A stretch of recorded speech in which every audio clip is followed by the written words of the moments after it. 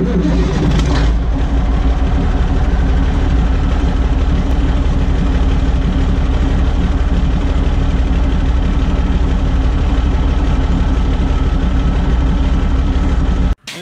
the trailer in to change a tire today and I figured out I had a loose wheel bearing and wheel seal's leaking. So I've already got most everything cleaned up, clean as it's gonna get, and uh, just getting ready to start putting things back together.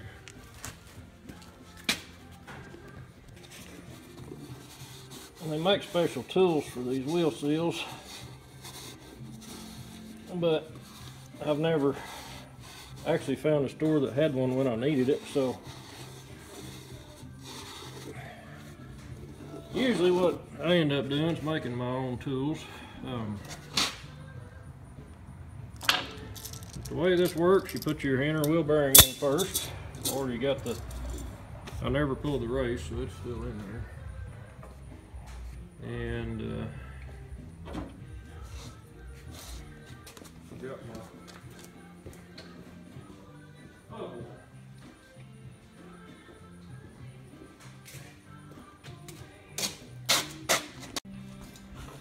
And usually put a little bit, I always like to lubricate the bearing.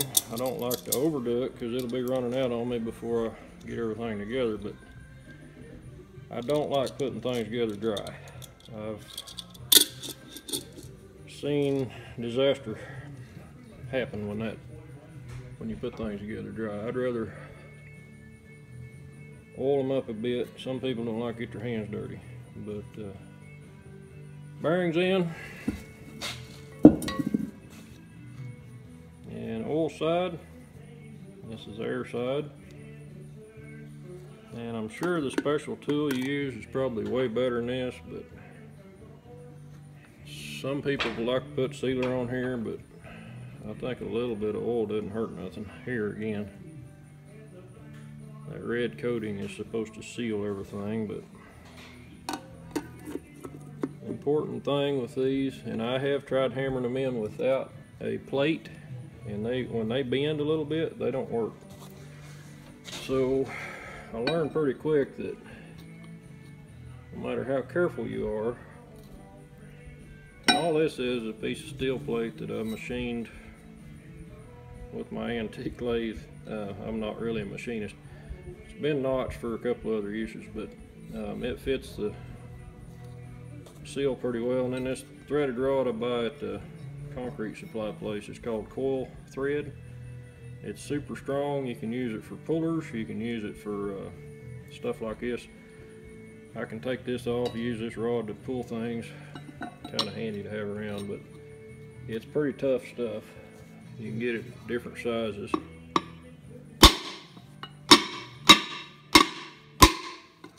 But with this rod, you'll feel it if it starts to go a little crooked. You can correct it.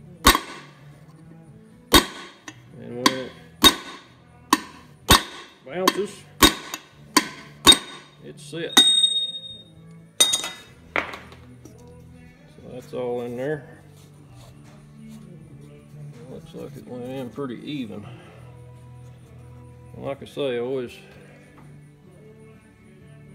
I've done enough of these to know that if you try to just punch that in there one side at a time, it'll bend and it will not work. And next week we'll be doing this all over again, so done. Like I say, I got that cleaned up about as good as it's gonna get.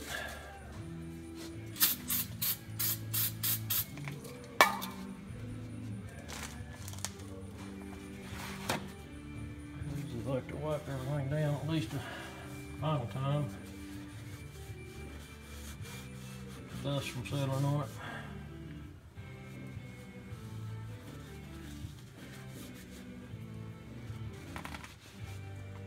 A couple years ago, one of these seals got away from me and I didn't notice it. And these hubs don't hold just a whole lot of oil.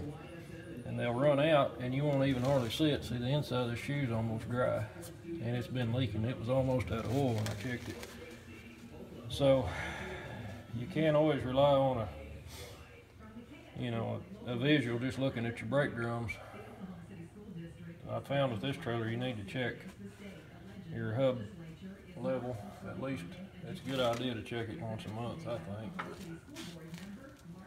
And here again, a little hub oil. Keep things lubed up good.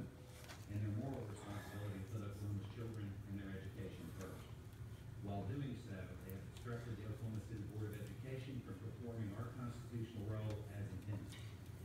This is unacceptable. In a prepared statement, House Speaker Charles McCall says the Supreme Court has already adjudicated the issue of adequate school funding. The district court found in 2007. He said city school officials suspended the dollars they received. Instead of filing frivolous lawsuits that he says blame others for their own poor leadership. The state health department today.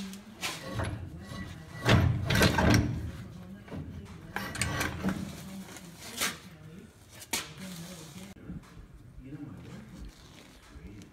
Then she carried on with this marriage, met some awful Sergio. She doesn't even like me. Right, sorry, Dan.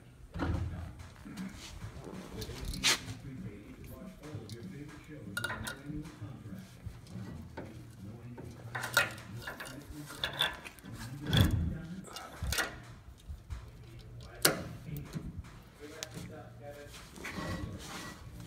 Prepaid your way from AT&T.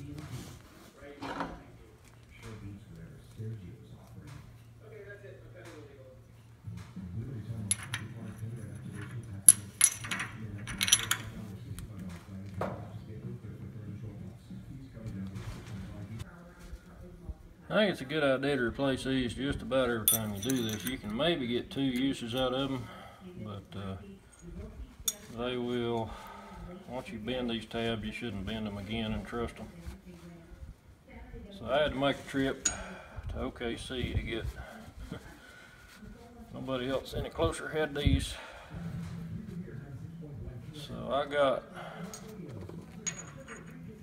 four that ought to cover me for a little bit.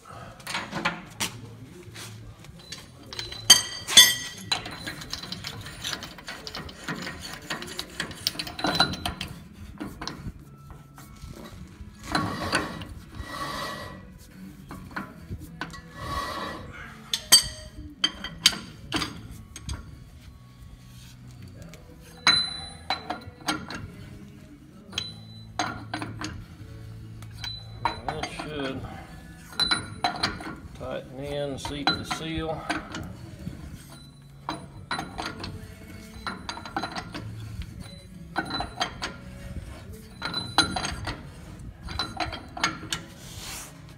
And I've always been taught that it's a good idea to uh,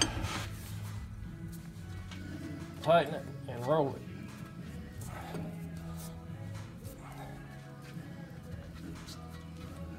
And make sure all your bearings are. Make sure you didn't have something stuck a little bit.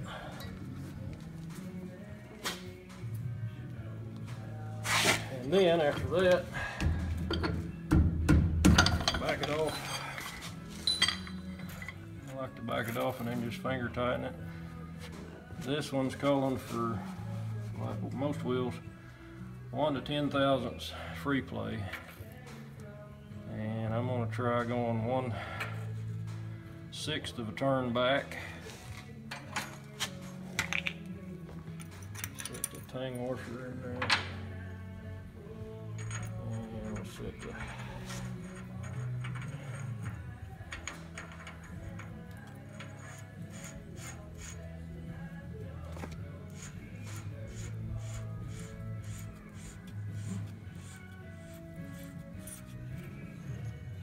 Alright, let's see if we can set this thing. From one to ten, it says. Your read if that's over on that side.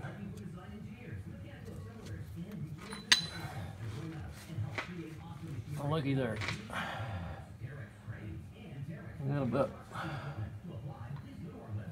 two and a half.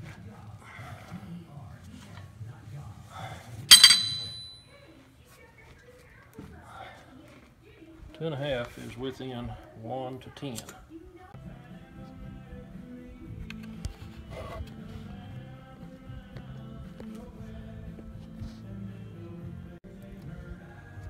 I don't know if it's right or not, but I always like to use NICs on these lug nuts. And I didn't used to. I used to think, well, if you put them on there with something on there like that, they might fall off. Well, after spending about three hours one night at 10 o'clock with a cutting torch trying to get my lug nuts off. I decided they're not going to fall off even with a little oil on them, but uh, I think it's a good idea. Um, you do got to keep them tight.